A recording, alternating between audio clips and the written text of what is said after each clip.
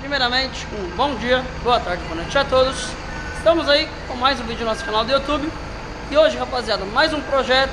Hoje um Honda Fit versão LX, ano de fabricação 2011, modelo 2011.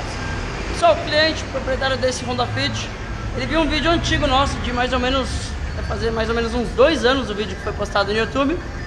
E o cliente viu um Honda Fit igualzinho dele, aonde a gente na época colocou titânio, película semi-espelhada, que ficou muito bonito. E através desse vídeo ele veio até nossa loja para poder fazer um trabalho, só que ele vai fazer mais coisas, né? Então vamos lá, vou explicar aqui para vocês, o carro acabou de chegar, mostrar como ele chegou agora, e quais serão os projetos e depois ele pronto. Então vai acompanhando esse vídeo, não saia do vídeo, acompanha o projeto final. Bom pessoal, vamos lá. Aqui o carro chegou com um filme bem desbotado, ele já tem isso filme, porém está bem desbotado. Parece até que não tem, né? É um filme bem antigo, é um carro 2011, né? E aí, pessoal, o que, que acontece? A gente vai remover esses filmes dos vidros laterais. E esse vidro traseiro, como ele está bem colocado e está bem clarinho, não compensa tirar esse filme para não danificar as linhas do desembaçador. Então a gente vai colocar por cima. Qual será a configuração? G5 titânio semi-espelhado no vidro traseiro, que é a película metalizada, ela tem um fundo brilhante, verde, tá bem bonito. Essas laterais também todinha de titânio, então vai ficar bem legal. E o para-brisa, a gente vai colocar a película G35 grafite profissional, a mais clarinha só, para poder dar uma escurecida no vidro, né? Inibir um pouco o sol, inibir também questão de ladrão, né, pessoal? Dá mais segurança, mais privacidade, né? Então vai ficar bem legal. Além disso, esse carro, ele não sobe os vidros no alarme, pessoal. Então, o carro agora ele tá aberto e os vidros também. Se eu apertar para travar, reparem que ele vai piscar a seta. Piscou a seta lá embaixo. Travou as portas. Olha isso. Porém, os vidros se mantêm abertos, não fecham. Ele tem um único vidro com a função One Touch, que é o automático, só o motorista. Só esse daqui, ó, botão alto, só o motorista. A gente vai ligar o contato. Um toque para subir, ele sobe completo. Um toque para descer, ele desce completo. O traseiro, ele já não é automático. Então a gente dá um toque, ele não vai descer com toque, ele vai descer de toque em toque. Ou se ficar segurando apertado até descer tudo. A gente vai instalar hoje, pessoal, o módulo da Touring nesse carro. Ele vai automatizar essa função no alarme e nos botões. Então, quando apertar uma vez para travar, ele vai subir os quatro. Três para destravar, ele desce os quatro. E aqui nos botões, os quatro ficará com a função One Touch. Descida e subida. Vai ficar bem legal também. Além disso, esse carro ele está com um aparelho original da Honda, da época, né, 2011 o carro. Tem leitor de CD, tem entrada auxiliar e rádio FM, apenas isso. Não tem USB, não tem Bluetooth, não tem nada da atualidade. Tudo da do antes, né, pessoal, do passado, né, quando lançou o carro. Porém, hoje a gente vai tirar esse original, vai colocar uma central multimídia Android da marca Icon. Ela veio já com chicote específico para Honda, né, tudo bonitinho. A gente vai instalar câmera de ré, que já vem no kit, e câmera frontal. Então, quando engatar ré, hoje ele não tem nenhuma câmera, mas vai ter. Aí vai acender a câmera de ré aqui. Quando engatar D, ele vai acionar frontal por 10 segundos e depois logo após ele já some e volta para a tela que estava, né? Então pessoal, vai ficar bem legal. Acompanhe esse projeto, é um projeto um pouquinho grande. A gente está deixando o carro hoje, sabadão aqui na loja. Vai buscar, pessoal, sem pressa, só na segunda-feira, meio-dia. Tá aqui é assim, pessoal. Cliente vem, deixa, faz projeto, sem pressa, tudo bonitinho. Aquele Elantra já está aqui já Vai se completar aí uns 5 dias.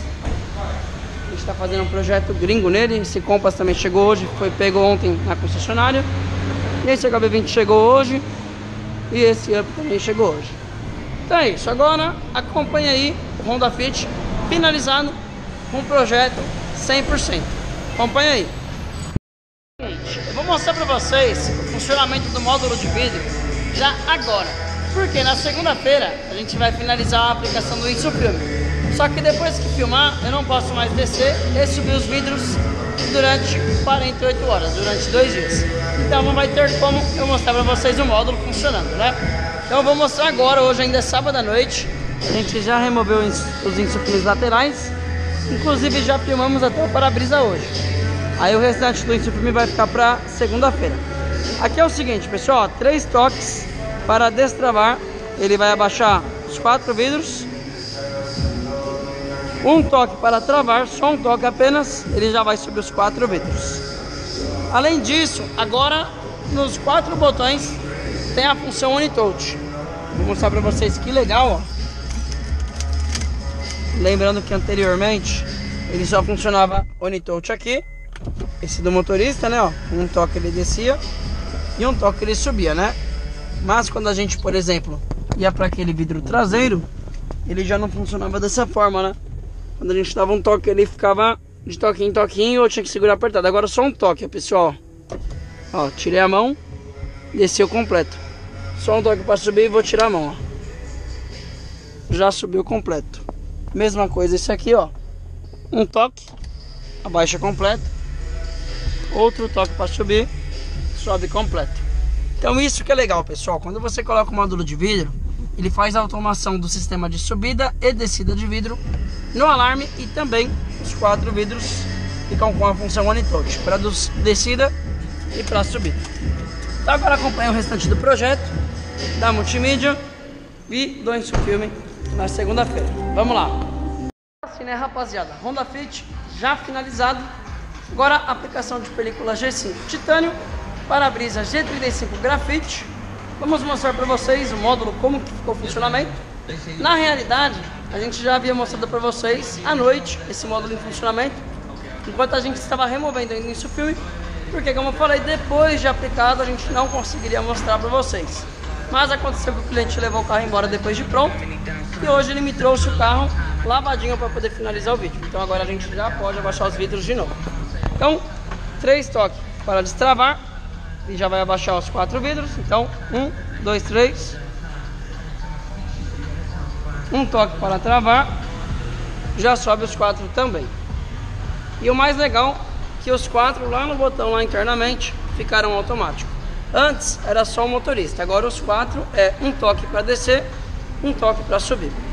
Bom, além disso, película G5 titânio, essa é uma película semi-espelhada.